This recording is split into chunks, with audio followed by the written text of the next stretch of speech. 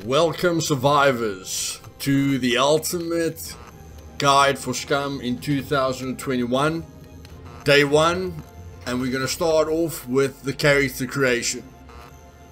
Now guys before I show you my build I just want to let you know I am going to be starting on my own server. The server's name is survival evolved okay? Um, on my channel's community tab and in my discord you'll see the settings for the server. But the main thing is that all you know that my whole community can play with me and that we can just have a lot of fun and that I'm the admin okay to counter all troll behavior you know and make sure that we've got no one um, spoiling our fun for us. When it comes to the build what makes Scum so great is that you can do your own build okay this build for me is the ultimate single player build. And when I say single player, it's almost a jack of all trades. Okay? So, and it's quite fast to do. So what I do with my build is I put my age on 35 just to get these age modifiers here. Um, I immediately put my strength down to 3 and then I decrease the penis size. I put my constitution on 4.5. I put my dexterity all the way up to 5. Okay, and that's it. That's as simple as it gets. Now, most of you that like strength, the positives about strength is that you can carry more, but not a lot more. Okay, with 3 strength, I can carry about 44, 45 kilograms. With a strength of 5, you're going to be able to carry 15 kilograms more, okay? But I have got the, the option to not carry so much on me constantly. And you're going to need a lot of stuff to carry that such such a lot. The other thing is when it comes to, let's just go next year. When it comes to these skills, putting skills into boxing is absolutely is negative for the utility of it. Uh, the only two important skills here are rifles and handguns, or rifles and archery. Okay? So putting too much skills in here is negative, and the other thing that's negative is that if you take 5 strength, your calorie intake, the amount of fuel that you burning every hour, will be quite um, quite a bit higher than a character of 3. When it comes to recoil control, which most people advertise strength on, with minimal, with average um, recoil control like I have, I don't see a major difference between 3, you know, and 5 strength. Where I do see the difference is in bows that are, you know, that have got uh, pulling weight of 60 or 100 but with a strength, strength of 3, as soon as my bow skill is at basic, I can use a 60 pound bow, okay? I'm not really interested in the 100 pound bows. Okay, so if you're interested in 100 pound bows, I'd say you're going to need at least a strength of 4. Um, with basic, you know, with, with, a, with a basic archery skill. And you can get a basic archery skill quite quickly, as I will show you in this guide. So for my for my guy, I go for medium rifles and medium handguns. I used to go advanced rifles and just skip handguns to level it up and get more fame. But when it comes to the balance between weapon and bullet durability for gun jams, uh, I'm going to be using pistols a heck of a lot. I'm not going to be using rifles on puppets. So when I feel safe, I'm going to be using pistols a lot, and a gun jam can um, cause my death. Okay? And then with rifles, again, if I keep my rifles clean, durability high, and I, you know, and I use high durability ammo, or I craft my own ammo, then it won't be such a such a big issue for me. But if you want, you can take rifles to advanced and not have any handgun skill. This is my option. When it comes to constitution, I always take running to advanced and I put my endurance to medium. You can put your endurance to advanced because you're going to be running a lot.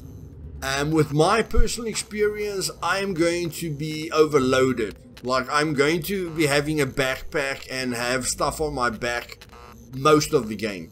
So I will be leveling up my endurance, okay? Naturally. Most of the time. And then running, the you know the less stamina I use to run and the faster I run and the longer I can run the better for me okay even if I jog it doesn't matter I, I will still able be able to jog faster than someone else and as a survivor I don't want to be caught by anyone else but I want to be able to catch. So I want to be able to get away from anyone that I want to get away from and I want to be able to catch anyone that I want to catch okay? And this is why I've taken 5 dexterity because 5 dex and um, you can level up any skill in this game guys. Any any skill in this game thievery driving awareness engineering rifles running it doesn't matter. You can upgrade it passively okay?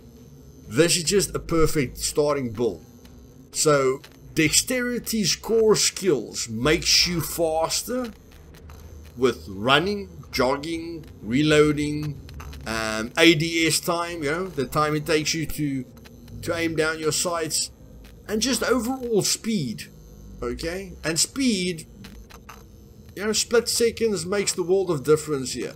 So again, I want to be the fastest. I want to have the fastest reaction times, but not only not only that. I want thievery on medium. I want demolition on medium, and then I want stealth on medium and then I want driving to basic. Okay, so I'm utilizing my dexterity points perfectly here. The advantage that you get from medium to advanced thievery is good, but it's not worth the three points which which we are going to have to spend here to get it to advanced. The medium demolition is perfect to craft all the all all the explosives that you can craft in the game. And again, those those three, you know, those three points can give you one second extra to defuse bombs. But once we practice enough with the bomb defusal tool, and once we practice, you know, with the lock picking practice tool, we will be able to get fast enough to counter that. And the more we practice at night with the bomb defusal and with the lock picking tool, we will get to advanced sooner or later, okay? This is just a very, very good basic starting point. With stealth, we will be able to get past mechs a lot easier, okay? They will always see us because their cone will always be the same, but the biggest difference is that we can get past them when they're not looking at us much easier, okay? which makes a huge difference, makes our life a lot easier. And then, of course, when we're in pr pr close proximity to another player, um, you know, he will find it a bit more difficult to hear us than for us to hear him. And then for for intelligence, um, they do say that you can increase your skills faster with a high intelligence. I have tested this, guys from 1 intelligence to 5 intelligence, it gives you about a 20% increase in um, the points, you know, that you gather while you while you're practicing practicing a skill. But I mean, from three, which most of us want, which most of us needs to have engineering of advanced, to five is about a seven six percent difference, which just isn't worth it. We can upgrade survival, and the reason why we don't want to put any points to survival is for fame points. When I start the game in the next, in, in part 2, I'm going to be crafting stuff, okay, which is going to up my survival. And every time, any every time I craft anything, that will get my survival up. So to get survival to basic is very easy. Medium and advanced is quite quick. Awareness is natural as well. And then camouflage. Um, it's difficult to test camouflage perfectly, but camouflage does help you to disappear for other players in certain situations when you've got certain clothing on. So if the camouflage is very important for you guys, I don't really like it because I feel it it enables camping, you know, but if you guys want ca high camouflage, every time, you know, you're done playing, just crawl through the grass. Crawl through long grass, okay, on your belly, leopard crawl through long grass and you'll be upgrading your stealth and your camouflage together, okay? I don't like doing any AFK, so this is the honest player, okay? This is a guy that just wants to jump in and play and immerse himself in the experience. That's why I call this the survival build. So guys, that's basically it. I'm going to create my character now. If any of you guys have got builds that you really, really like, put it in the comments down below. I'd love you to share it with me.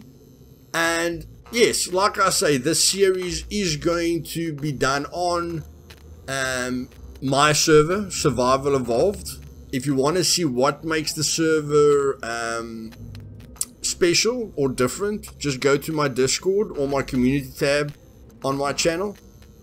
And yes, in this series I will be showing you everything that I've learned over the last month or so, going in, in depth with most of the strategies, um, you know, to learn the game as fast as possible. And yes, while I'm doing the guide, you guys are more than welcome to um, give your own tips below and that we can just learn this game together as fast as possible you know, and get really excited for the new metabolism system in the future. So if you guys like this video, do me a favor and click the like button. If you want to see future videos, just click the sub button and the bell button for future content. And the next, in part 2, I will be showing you guys the fastest way to get started as a fresh spawn. That's when you go into the game like me or after you've died, okay? The fastest way to get to your feet and get going as fast as possible. See you guys later. Have a great day. Cheers.